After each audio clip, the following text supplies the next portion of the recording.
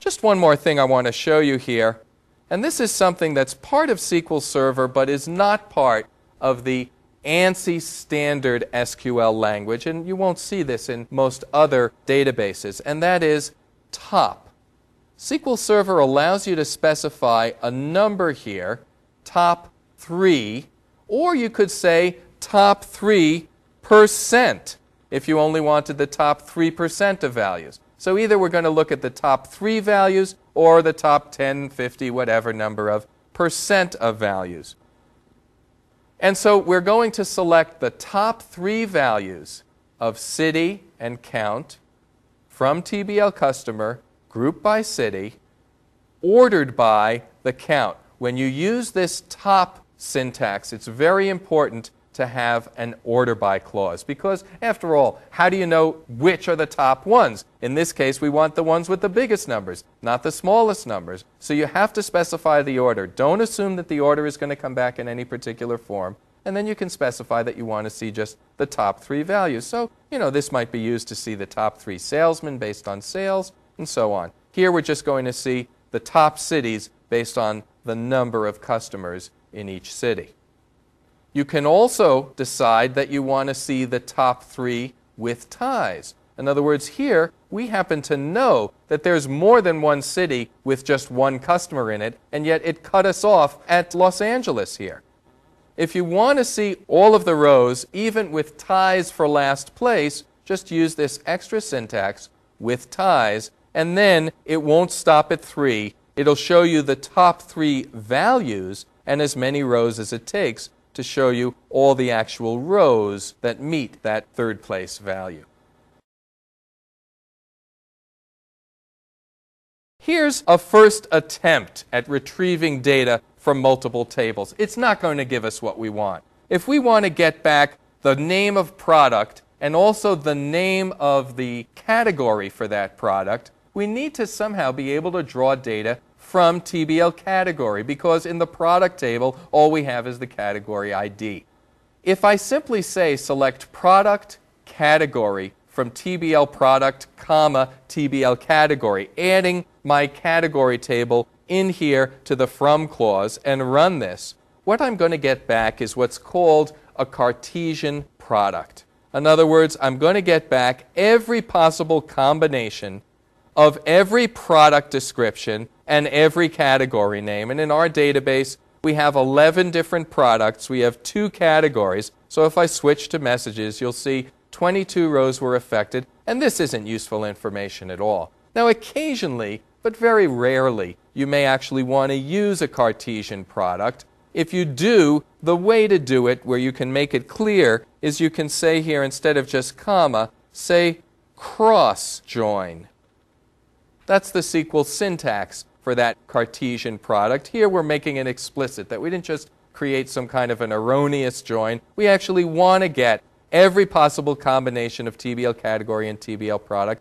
And occasionally you'll do that if you want to maybe have a where clause in here which says some value in here is greater than some value in here, something like that.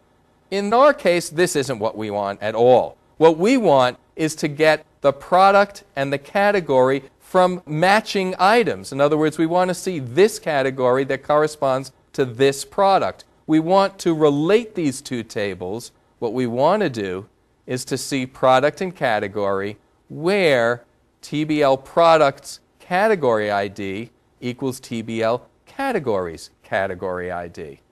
Now here you see that we've used this nomenclature of prefixing the name of the field or column with the name of the table. And the reason that that was necessary here is that if we just refer to category ID, it's really ambiguous which table it's coming from because we have a category ID in both tables. So you can prefix the name of the table here in front of the name of the field or column. This where way of joining together tables is the old way that was in use for years, and then at one point the ANSI SQL body decided to standardize on a different notation, which instead of using the where clause, which really should be used just for filtering data, for applying criteria, since what we're talking about is a relationship that exists between the tables in the from clause, we can use a syntax that's contained inside the from clause. And this is join syntax. So we're going to select product from TBL product. We're going to select category from TBL category from TBL product joined to TBL category on the category ID in TBL product equaling the category ID in TBL category. This is what's called an inner join. And in fact, if we wanted to, we could type the word inner in here and it would have the same meaning. When I highlight this in the query analyzer and run it, we'll see that now we only got back 11 rows, one for each product, and we're seeing the corresponding category for each of the products. Some are shark dolls, some are sharkware. And the next example just shows you that you can use that inner join. The inner means that we're going to be only looking at products from the two tables where there's a match between category ID in each of the tables.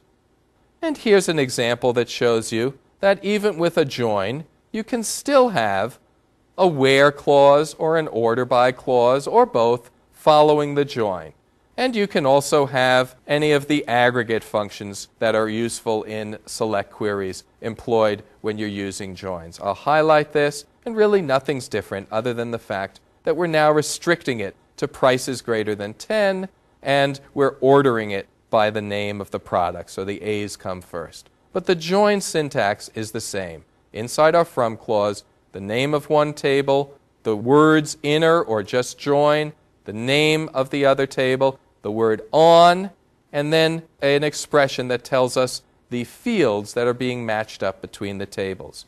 If we had more than one field, we could say and here. So it might be on this field equals this field and some other field equals some other field. You can have a join based on as many fields as required. Now, sometimes your joins are going to get more complicated. You're going to have multiple tables. In this case, we're looking at the order table joined to the customer table.